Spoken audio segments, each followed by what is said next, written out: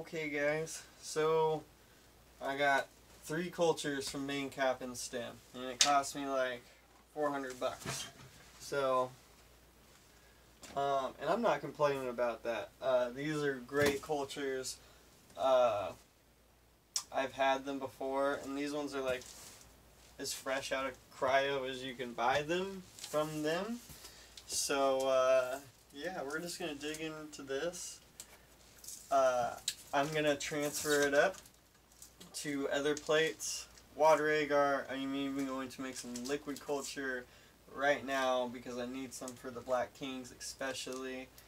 Um, I'm not going to really show that. I am going to come back after it's colonized. I can cut to like that little part that I have showing all the stuff in the pressure cooker that I'll be using. So I'm in here about to get the pressure cooker ready full of goodies that we're going to use to store our cultures pretty much. So we have some regular old agar over here. Uh, I'm going to make some regular plates uh, compared to the polypropylene plates I've been using. And we have some water agar here. And I'll dig into water agar in another video um, and the benefits of it. Uh, but we're going to want this for a less common reason uh, than most people use water agar. It's just uh, water and agar. It would be followed according to your uh, regular agar recipe, just minus the nutrients. Um, we do have about 10 milliliters of water in the 15 milliliter vials, the polypropylene vials. Uh, a ring with two synthetic filter discs kind of acts as a filter patch uh, container for sterilizing uh, tools and materials.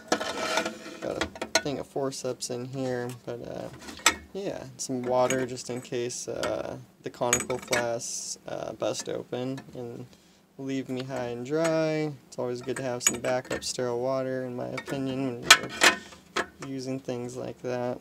But uh, yeah, we're going to sterilize all this so when the cultures get here, uh, everything will be ready to go. Um, got a bunch of those.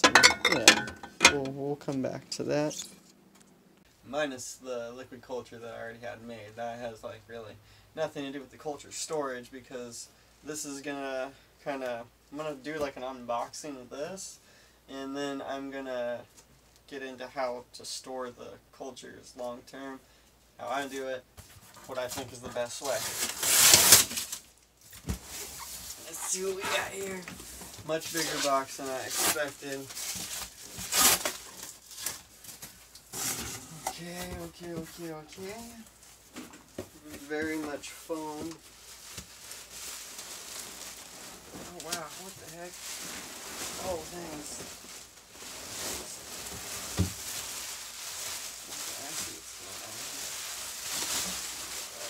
Oh no. Eight eight panels of foam.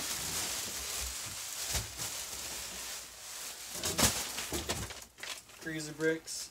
Still completely frozen. Much better than I expected. Good job, guys. Oh, Okay. Those are still super frozen. Uh, I'm going to save those.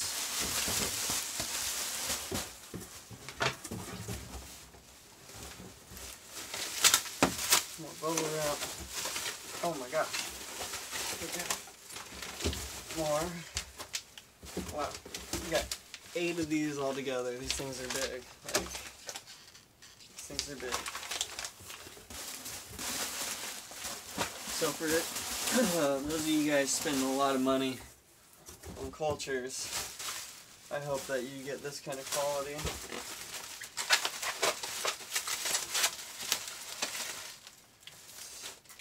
We got our Pioppini and a backup Pioppini. Should have two of each plate. Okay. I don't know how well we're gonna be able to see this on the camera. Stepping on some bubble wrap. Yeah, that's not gonna work. I mean, this one is like completely colonized. It's just all white. This one, I mean, you can see it a little bit more. You can kind of see that there's an edge around here, I think. So, well, I'm not going to open these right here. That's pretty cool, actually. These are in sterile containers themselves. They are little filter patch bags, which is super cool. I really like that. Uh, so you get pretty much two plates for a hundred bucks.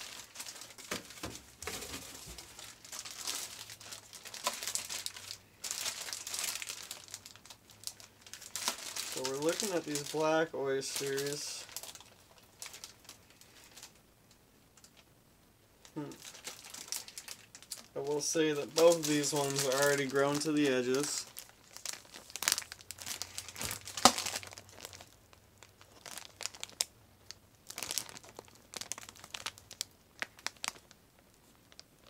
And these ones are a little bit yellow. Maybe I'll flip the camera around real quick and we'll take a closer look at them here in just a second.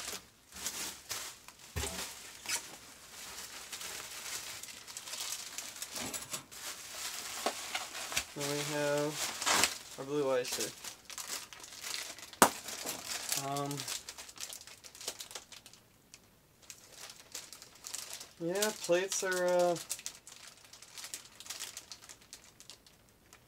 these ones are grown onto the lids. Yeah, we'll take this out real quick. Get this big old box out of here. Okay, so we got the Pioppinis over here. Seem a little bit better, I think. These ones have a lot of condensation on them. Let's look at the uh, the blues.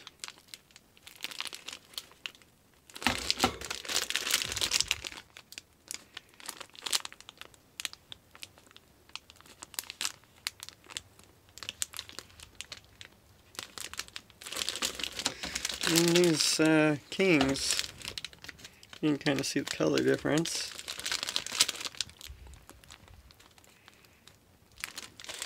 These,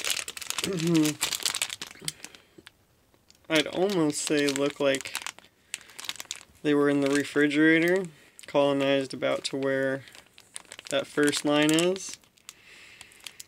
And then, uh, yeah, they kind of grew out during shipping the rest of the way kind of a similar thing here. Um,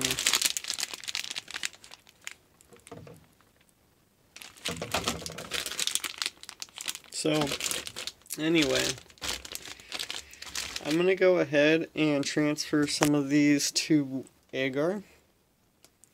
Um, I won't be putting any of these directly into water because I'm going to colonize water agar so there's no nutrients in the solution that they're stored in will just be mycelium.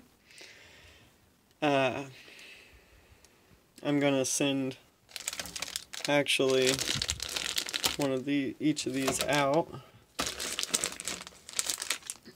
Um, yeah, and I'm gonna make a little bit of liquid culture real quick. So we'll come back here in a minute.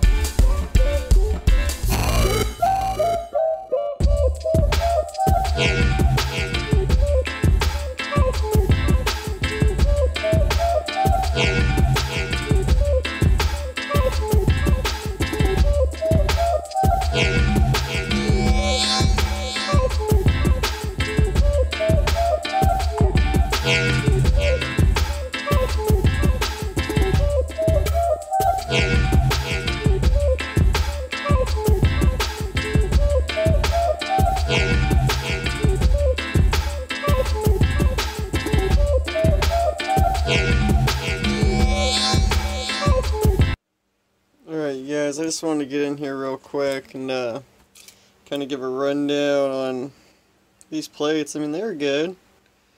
Uh, was a little concerned on some of this yellowing, but uh, you know, probably just metabolites. Uh, which is really normal. I just didn't expect the plate to be overgrown, I guess. Um, I expected they might ship it out a little more like this. I'm actually getting ready to ship this. Uh, granted, this transfer is exceptionally larger than it needs to be. Uh, I was going to ship these out days ago, even early, but uh, this is about maybe a little bit sooner even than I would ship a regular culture. Uh, I would definitely try to ship it before that point. Again, huge transfer. But uh, I'd personally prefer it undergrown than overgrown. and these were done four days ago. And mine, these were next day shipping as well. I'll ship these today. Um, just kind of wanted to touch on that, I guess why I was looking at them so closely. I'm sure that some people might be skeptical of the metabolites or um, perceiving them as bacteria. Me personally, I was hoping for a younger culture mainly because of what I understand as mitochondrial activity within the cell, primarily at the leading ends of hyphae. Uh, but it really doesn't matter. That that has more to do with vigor, I'd say, as far as like obtaining young genetics. I'm not too worried about it. So, uh, great cultures overall from main calf and stem. and uh, yeah, we'll come back to back those up after the water agar is colonized. Can, uh, looking at this one, this transfer. See, it's already starting to come back. Very much so. So we'll come back when these are colonized. Okay guys, so we're in here getting ready to back up the cultures to sterile water. Uh, I've put the just regular agar transfers in the fridge. Um, just got these out to show. I let them colonize about that far. Put them in the fridge. Also, those are just first transfer backups. Um, I kind of made them just because I won't be really using those as much, actually. I'll primarily be using the water agar dishes. Um, hopefully I can get a good picture. So you can see that this plate's almost completely colonized from just the transfer there in the center.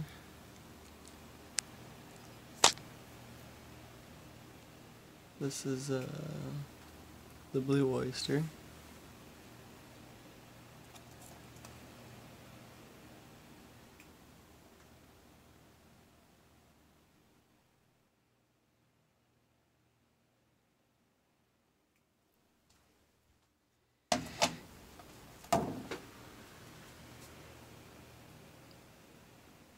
Pioppini.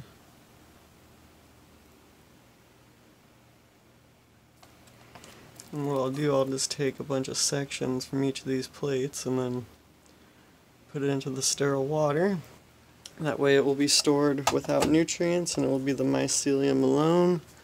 It would give no opportunity for contaminants to expand. And it would keep the mycelium hydrated, which is the main reason people use slants, I suppose. I feel like this is a better option.